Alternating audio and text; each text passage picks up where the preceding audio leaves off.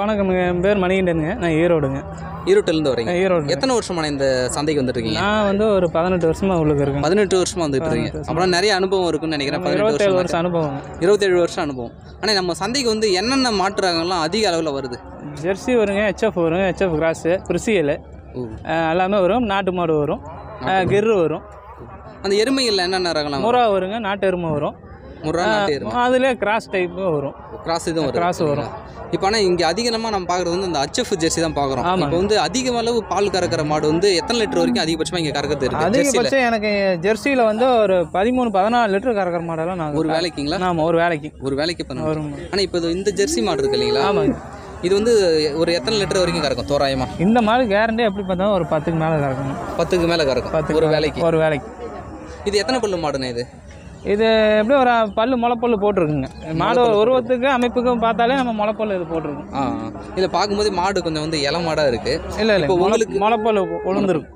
பார்க்கவே தேவையில்லை. முளைப்பல்லு உளுந்துரும் முளை பல்லு விழுந்திருக்கும் உருவத்தை பார்த்தாலே நம்ம. சரி நானே இப்போ வந்து ஒரு மாடு உங்க வீட்டுக்கு வாங்குறீங்க. உங்களுக்கு வாங்குறீங்க. அப்படின்னா நீங்க என்னென்னலாம் பார்த்து வாங்குவீங்க? இதெல்லாம் இருந்தா நம்ம வீட்டுக்கு அப்படின்னா. மாட்டோட நீளம் லென்த்து மாட்டோட நீளம். ஆமாம் நீளம். வால் அமைப்பு கால் ஊக்கம். இந்த வால் அமைப்புன்னா? இந்த முட்டிக்கு கீழே வரணுங்க. ஓ அந்த வாட்சம் ஒரு தொங்குறது. லட்சணமா. அதாவது ஒரு பெண்கள் எப்படி கூந்தல் இருக்குமோ அந்த. அமைப்பு. அப்படி. இந்த கால் ஊக்கம் அப்படின்னா? முன்கால் ஊக்கம். முன்கால் ஊக்கம். இந்த நாலு காம்பு இப்படி ஒரே சமமாக இருக்கணும். ஓ நாலு காம்பும் சமமா இருக்கும் சமமாக இருக்கணும். அப்புறம் பல்லு. பல்லில் வந்து நம்ம ஏதோ பல்லு ஓ- நம்மளாட்டம் சொத்த பல்லாட்டம் ஓட்ட புல்லு இருக்குதா என்ன? இப்போ நாலு பல்லுனா நாலு பல்லு இருக்கும். ஒன்று மூணு பல்லு தான் இருக்கும். ஒரு பல்லு உடஞ்சி இருக்கும் அப்படி இருக்கும். அப்போ இந்த குறக்கடை எலும்பு இருக்கான்னு பார்க்கணும். ஆமா ஓ இந்த எலும்பு. ஆஹ் குறக்கடை இது இது வந்து ஃபுல்லாக இருக்கும். குறக்கடைக்கு மேலே இதில் பாதி தான் இருக்கும். பாதி தான் அது வந்து சரியாக அசைக்கி எடுக்காது பிடிக்காது ரிட்டர்ன் வரும். அதாட்டம் இருக்கும். அப்புறம் முக லட்சணம். முகம் லட்சணம். மெயின் முக லட்சணம் வேணும். ஒரு மாடு நம்ம கடுத்தரையில் இருக்குன்னா முக லட்சணம் தான் இருக்கணும். முக லட்சணம் இல்லாமல் அது டைப்பாக முறைச்சிக்கிட்டு நின்றுச்சுன்னா அது நல்லா இருக்கு ஆ இப்போ அந்த சுழின? சுழி பார்த்தீங்களா இந்த இந்த சுழிங்க. ஓ. இது என்ன இருக்கணும். சொல்லுவாங்க? இது சென்ட்ரல் சுழிம்பாங்க சில. பேர் ஒருத்தர் ஒவ்வொரு ஏரியாவுக்கு வந்து சொல்லுவாங்க. இந்த சுழி வந்து இங்கே இருக்கக்கூடாது. இந்த சுழி வந்து இங்கே இருக்கக்கூடாது. அந்த நடுவுல தான் இருக்கணும் நடுவில் தான் இருக்கணும். அப்புறம் இங்கே இங்கே இது இருந்தால் அசவு சுழிம்பாங்க நெத்தி சுழி பார்ப்பாங்க. அது எந்த சுழின இருக்கக்கூடாது? இங்கே அசவு சுழி இருக்கக்கூடாதுங்க. இந்த சுழி வந்து இங்கே இந்த ரெண்டு கால். சப்பைக்கு வரக்கூடாது. அப்புறம் பார்த்தீங்கன்னா இந்த இடத்துல வரக்கூடாது. இது பாட சுழிம்பாங்க அந்த ரெண்டு அப்புறம் இந்த இடத்துல வந்தால் வெட்டு சுழிம்பாங்க வெட்டு சுழி. ஆமாம் அது இருக்கலாங்களா அந்த வெட்டு சுழி? இருக்கக்கூடாது. அது இருக்கு அது இருக்கக்கூடாது. அது இல்லாம பார்த்தோம். ஆமாங்க. முன்னால் நெத்தியில் ரெண்டு ரெண்டு சுழி இருக்கக்கூடாது. ஒரு சுழி இருக்கணும். நெத்தியில. நெத்தியில். ஒரு சுழி தான் இருக்கு ஆமாங்க. ஆனா இப்போ வந்து நாங்க வந்து ஊர்ல வாங்கணும் லோக்கல் வியாபாரிட்ட வாங்கினா நாங்க வந்து பால் கறந்து பார்த்து வாங்குவோம். அந்த ஆமா. மாதிரி சந்தையில வாங்க முடியாது. அதனால நம்ம எப்படி பார்த்து வாங்கணும் நம்ம? பால் நீங்கள் கறவை அப்படி. நீங்கள் அப்படி காம்புல எதுவும் பிரச்சனை இல்லை நான் என்ன சொன்னால் நீங்கள் வந்து அப்படி வாங்குறவங்களா இருந்தால் இந்த அதாட்ட இளங்கன் மாடு. ஓ. கண்ணு போட்டு மாடு கண்ணு போட்டு ஒரு ஒரு ஒரு வாரத்துக்குள்ளே உள்ள மாடு. அப்படி வாங்கணும். இப்போ ஒரு மாதத்துக்கு மேலே உள்ள மாடெல்லாம் வா- நம்ம பார்த்து தான் எடுக்கணும் ஏன்னா இதுனா நம்ம எப்படி வேணால் எடுக்கலாம். ஏன்னா இது வந்து மடி பால் கட்ட மாட்டாங்க. பா- பால் கட்டினாலும் மாட்டுக்கு ஜுரம் வந்துடும் அவங்களுக்கு வினையாயிரும் ஆ அதனால் பால் கட்ட மாட்டாங்க. அதனால் ஒன்றும் செனை. கண்ணு போகிற தரத்துக்கு செனை. இல்லைன்னா அப்படி சீம்பால் மாடு இளங்கன் மாடு. ஒரு வாரத்துக்கு மாடு. இது பார்த்து வாங்குறது ஆமாம் அது? வாங்கணும். இப்போ காம்பு நல்லா இருக்கான்னு நம்ம அடித்து பார்த்துக்கணும்.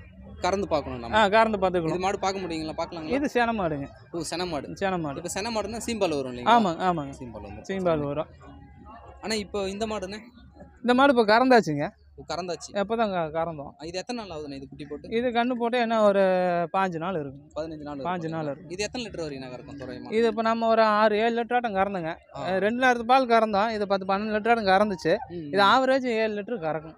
ஆவரேஜ் ஏழு லிட்டர் ஆ, ஏழு. லிட்டர் கறக்கும். இப்போ அதிக அளவு இந்த இங்க வரக்கூடிய வியாபாரிலாம் எந்தெந்த ஊர்ல இருந்து வராங்க? கேரளா மீன் வருவாங்க. கேரளா வந்து மெயினா வருவாங்க. கேரளா மீன் ஆந்திரா மகாராஷ்டிரா எல்லாமே வருவாங்க. ஆனா இந்த எருமை மாடுகள்லாம் இருக்கு இல்லைங்களா. இதுல வந்து அந்த முறா எருமை நாட்டு எருமை இதுல வந்து பால் வந்து வடைந்த எருமை வந்து நல்லா கறக்கணும் எத்தனை லிட்டர் வரைக்கும் நான் கறக்குது அது? அதிகபட்சம் ஒரு ஏழு எட்டு கறக்குங்க நேரத்துக்கு. ஏழு லிட்டர் எட்டு லிட்டர் கறக்கும். ஆனால் நம்ம நாட்டு எருமை இருக்கும். நாட்டு எருமை பார்த்தீங்கன்னா நாலு அஞ்சு கறக்கும்.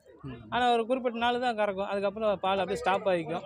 ஆனா இப்போ வந்து மாடுகள் வந்து உங்கள்ட்ட கேட்டா வாங்கி தருவீங்களாண்ணே? வாங்கி தருவாங்க. நம்ம எல்லாத்துக்கும் வாங்கி கொடுத்துக்கிட்டு தான் இருக்கிறாங்க. இப்போ என்னென்ன ஊர்களுக்கான உங்களால் அனுப்பி தமிழ்நாடு ஃபுல்லாக அனுப்ப முடியுமா? வெளி மாநிலத்துல இருந்து கேட்டாலும் அனுப்புவீங்களா?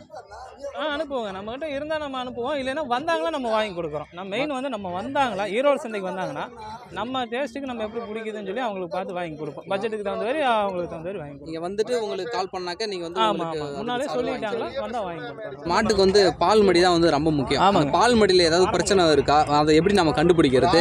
அப்படி கண்டுபிடிச்சா அதுக்கு என்ன வைத்தியம் நம்ம வந்து பண்ணலாம்? இப்போ உதாரணத்துக்கு பார்த்தீங்களா என்னோட அனுபவத்தில் நான் சொல்கிறேன் இப்போ மூணு காம்பு வந்து பால் நல்லா வரும். ஒரு காம்பு வந்து டைட்டாக இருக்கும். ஆமாம் பால் அடிச்சிங்களா சிரஞ்சியில் வர்ற மாதிரி இருக்கும். அது என்னன்னா நம்ம பால் கறக்க கஷ்டமாக நம்ம எண்ணெய் போட்டு இழுப்போம். அது ஒரு பால் கறந்த முற்பால் ஒரு அஞ்சு நிமிஷம் கழிச்சு ஆஹ், நம்ம கிளினிக் ப்ளஸ் ஷாம்பு இருக்கு இல்லைங்க ஆமாம் அந்த ஷாம்பு மட்டும் அந்த காம்புக்கு மட்டும் பூசி விட்டு ஒரு ரெண்டு நேரம் ஒரு ஒரு வாரம் பூசினீங்கன்னா அந்த காம்பு ஆள் ஆல்ரெடி ரெடி ஆயிடும் நீங்கள் வழக்கம் போல் அதில் எல்லா காம்பு எப்படி கறப்பீங்களோ அதாட்டம் பண்ணிக்கலாம். அந்த மேல் பக்கமாக தடை மேல் பக்கம் மட்டும் நம்ம பூசி விட்டு விட்டோம்னா ஒரு ஒரு வாரம் அதிகபட்சம் ஒரு வாரம் ரெண்டு நேரம். ரெண்டு நேரம் காலையிலையும் சாயந்தரமும் ஆமாம் பால் கறந்து ஒரு அஞ்சு நிமிஷம் கழிச்சு முற்பால நம்ம பூசி விட்டீங்களா நீங்கள் ஒரு வாரத்துக்குள்ளே உங்களுக்கு இதாயிடும் சில காம்புல வந்து பால் வந்து அப்படியே இந்த பிச்சுக்கிட்டு அடிக்கும்.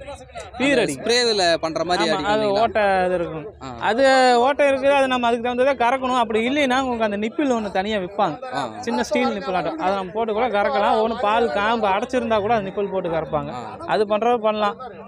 அதுதான் நம்ம வாங்கும்போது அப்படி பார்த்து வாங்கிக்கணும். காம்பு பீர் நல்லா இருக்குதா? இல்லை கோணச்சிக்கிட்டு நம்ம பாத்திரத்தில் வராமல் பால் கா மாட்டுக்கு காலுக்கு பின்னால் போகுதா. அப்படின்னு பார்த்து எடுக்கணும் மாடு. ஒருவேளை அந்த ஆ, பெண்கள் எல்லாம் பார்த்து கறக்கிற மாடா பார்த்து எடுக்கிறது நல்லதா இருக்கும் நம்ம வீடுங்களுக்கு? எடுக்கலாங்க. நம்ம இங்கே வந்து நம்ம மாட்டை தனியாக வாங்கிட்டு போய் தனியாக கட்டி ஒன்றும் பணம் கொடுக்கறதுல அவசரம் இல்லைங்க. ஃபஸ்ட்டு ஒரு ஐநூறுரூவா அட்வான்ஸ் கொடுக்குறோம். மாட்டை வாங்குறோம். வெளியே கட்டி பாலை கறந்து பார்த்துட்டு ஒரு மணி நேரம் ரெண்டு மணி நேரம் டைம் எடுத்துட்டு நம்ம மீதி செட்டில்மெண்ட் பண்ணலாம். அந்த மாதிரி வியாபாரிகள் விடுவாங்களா? விடுவாங்க. நம்ம தெரிஞ்சவங்க தானே. நம்மளை நம்பி எல்லாம் தாராளமாக விடுவாங்க. ஏன்னா இப்போ நம்ம கட்டிட்டு ரெண்டு மணி நேரம் கழிச்சு கூட பணம் கொடுக்கலாம். அதுக்குள்ளே நம்ம மாட்டில் ஏதோ கம்ப்ளைண்ட்னா மாட்டை ரிட்டர்ன் பண்ணிக்கலாம். ரிட்டர்ன் பண்ணிக்கலாம். ஒவ்வொரு சந்தையாட்டம் நம்ம அப்பயே காசை கொடுத்துட்டு வாங்கிட்டு அப்புறமேட்டு கம்ப்ளைண்ட் இருந்தால் நம்ம அவங்ககிட்ட சண்டை போட்டுட்டு. பார்கின் பண்ணிட்டு இருக்கணும். அது முடியாது. இதுனா ஈஸியாக முடிச்சுக்கலாம்னு வச்சுக்கோங்க.